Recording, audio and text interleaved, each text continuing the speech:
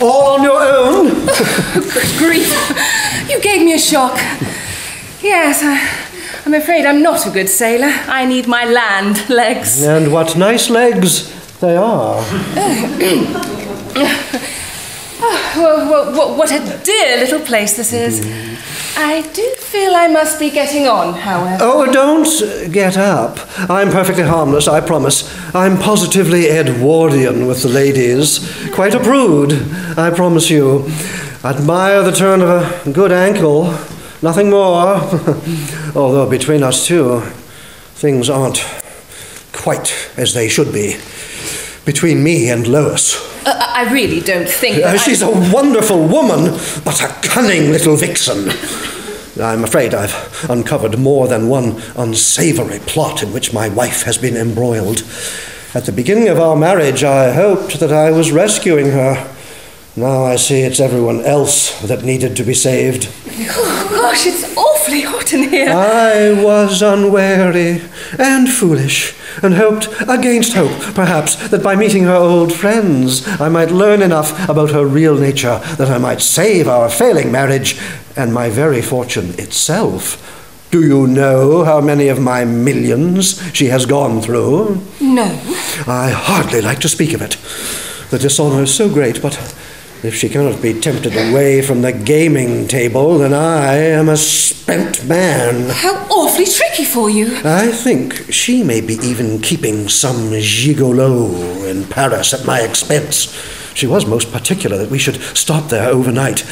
You seem so much more kind than she is. Oh, so sorry, Edward. I know. It's a terrible thing to be married to a woman as cold as Lois. I, I mean, I, I've just been sick in your pocket. I, mean, uh, never mind.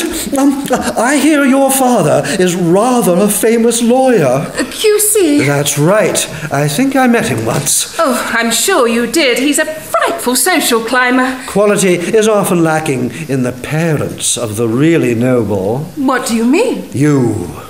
I feel you have a sense of honor. Oh, you're such a dear. It shines from you like a light. Does it? Uh, I mean, it was very nice of you to say so. I feel that you are the one to keep my secret. Oh, no, please don't tell me a secret. I'm allergic to, them. To them. keep my secret and even perhaps to be the guardian of this special train. I'm at my wit's end. I'm going to have to sell it, you know. Imagine that. Your little school friend has really cleaned me out. By this train? But I couldn't possibly afford it. Uh, But I think you'll find your father could. Think of the entertaining he could do on it, and you need only invest a very modest sum and buy one carriage to have the use of the whole thing for an entire month of every year. It's a unique purchase. I'd buy it myself if I had the means. Uh, do you have any cash on you at all? Well, I, I did bring some traveller's checks. Oh. Are you really penniless? Oh. you poor dear. I would never have imagined that that would be your secret. Oh, that wasn't really what I uh, meant to say. It, it was just um, just an opportunity that I wanted to offer you. No, the uh, real secret, the dilemma I face is what to do about my wife and Sophia. What do you mean? I've discovered that Lois has been further mm, supplementing her funds at Sophia's expense. Oh, is that so? Blackmail. Oh, gosh. Is there anything my wife might know about Sophia that would give her the power over her? Well, nothing that I can think of. I am aware that there exists a special bond between you all. Are you prepared to tell me what it was, in the interests of saving your friend? Let me tell you, from the conversation I had with her just now, she appears to be pretty desperate.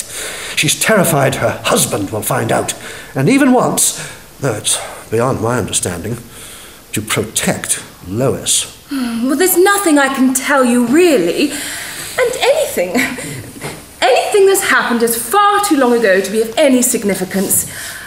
Are you sure that what you say is true? I've found letters and even money. As criminals go, Lois is not especially discreet.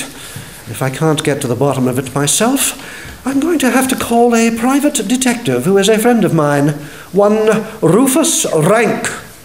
You've heard of him, I suppose? Oh, yes. Golly, he's, he's always in the papers. Perhaps this is the best way to proceed. I must confess, after my interview with Sophia just now, I feel somewhat shaken, and I don't know what to do.